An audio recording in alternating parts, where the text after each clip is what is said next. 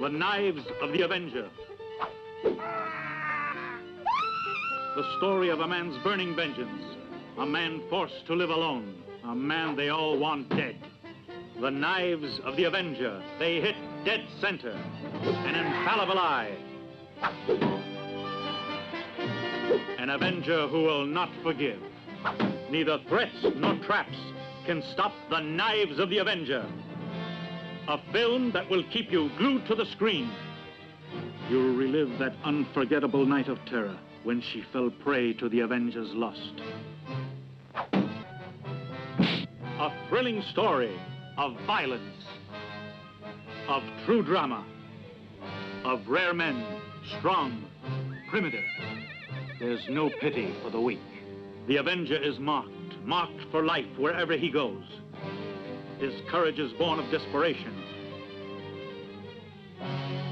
It's a fight unto death. And a fight to preserve a forbidden love.